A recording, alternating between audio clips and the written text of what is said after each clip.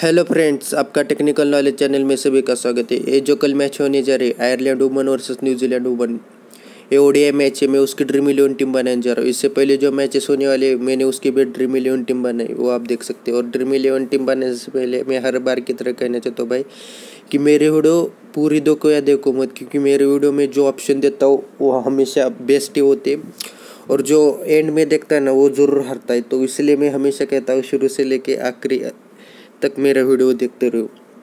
तो चलिए dream eleven team बनाते तो ये न्यूजीलैंड का दौरा आयरलैंड के खिलाफ पिछली मैच जब हुए थे तो न्यूजीलैंड ही जीती थी।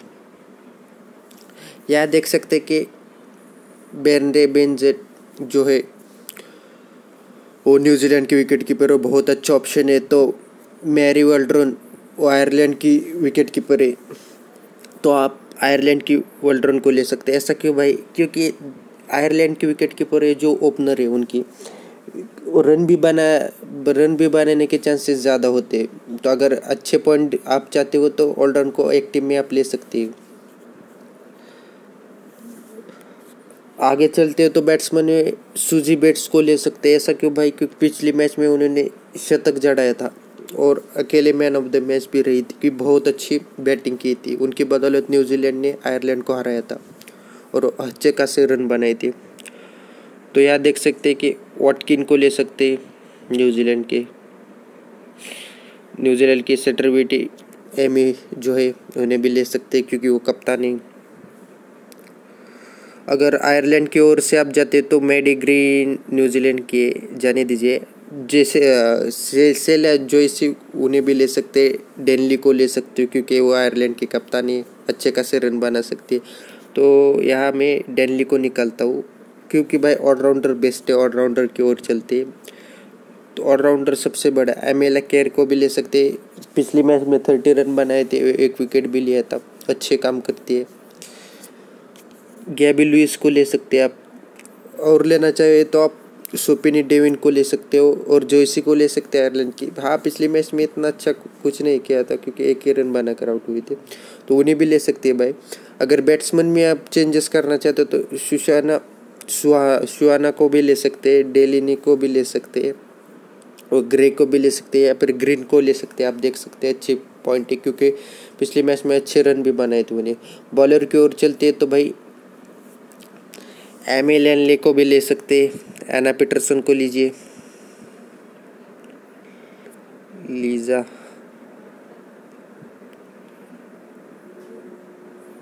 बहुत ऑप्शन है भाई। होता है कि ले को भी ले सकते हैं, आयरलैंड की जो है।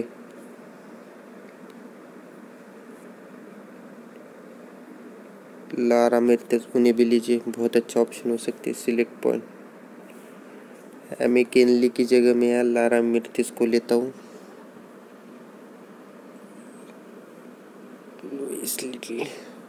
अगर आप दूसरे किसी को लेना चाहिए तो रायल डेलानी को भी ले सकते। बहुत अच्छे बॉलर है। लेया को भी ले सकते। ऐसा क्यों? भाई, अगर तुम ग्रैंड लीग के लिए खेलते हो तो मैंने हमेशा कहा कि भाई यूनिक टीम होनी चाहिए। और हमेशा चेंजेस करना चाहिए, भाई, ना कि कप्तान वाइस कप्तान। प्लेयर भी अगर तुम चेंज करोगे तो ज़्यादा से ज़्यादा जीतने के चांसेस होते। तो यार, डेलेनी को भी लेता हूँ मैं। एट क्रेडिट बचे तो भाई एट क्रेडिट के हमें लोइस लिटिल को लेता हूँ। उनकी जगह किसी को लेना चाहिए तो यहाँ ऑलराउंडर तो है बेस्ट बेस्ट जो पता है। मैडे ग्रीन को लेता हूँ।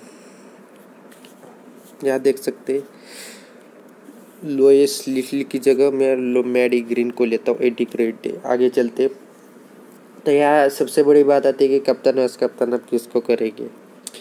तो आपके पास सबसे बेस्ट मैंने कहा है कि सूजी बेट्स जो बहुत अच्छा ऑप्शन है और मैडी ग्रीन वो भी बहुत अच्छा ऑप्शन है आपके पास।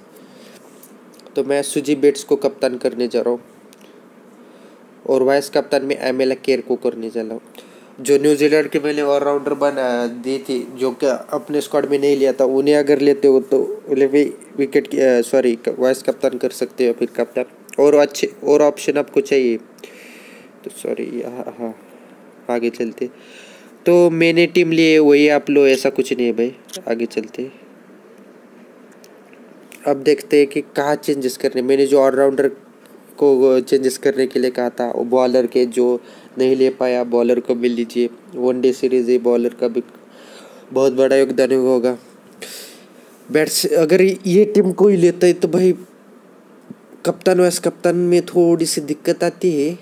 लेकिन मैं बता तो कौन से बेस्ट ऑप्शन है। ये दोनों में बेस्ट ऑप्शन दिए ऑलराउंडर में मैंने जो बताया कि न्यूजीलैंड के जिन्हें नहीं लिया, उन्हें भी कर सकते हैं वाइस कप्तान जो ऐसी को कर सकते हैं, या फिर सेटर को कर सकते हैं, या फिर विकेट कीपर वाल्डर को भी कर सकते हैं। क्योंकि वो अपना रेमी ने कहा है। हर मैच में थोड़ी ना ज़ीरो पर या चार पाँच रन बना कर आउट होगी क्या पता, सौ भी रन कर सकते हैं या फिर पचास। अगर ज़्यादा टीम ले तो भाई ग्रैंड लीग के लिए दो, तीन, चार मिनिमम टीम और मैक्सिमम छः महीने बताए। तो उन्हें भी कर सकते हो। कप्तान वाइस कप्तान चेंज करो। आप जीत जाओगे। स्मॉल लीग के लिए परफेक्ट टीम है। अगर आपको कोई प्रॉब्लम आता है हाँ मैं कहना भूल गया कि भाई, सब क्रिकेट की ड्रीम इलेवन टीम बनाए थे। कुछ फुटबॉल की बना देते मुझे कमेंट भी आई थी कि मुझे बनाने नहीं आती पर डिफेंडर क्या होता है? जो नहीं होते, पता नहीं। तो मैंने उसके लिए भी वीडियो बनाए। वो कार्ड में डाला है। वो आप देख सकती है।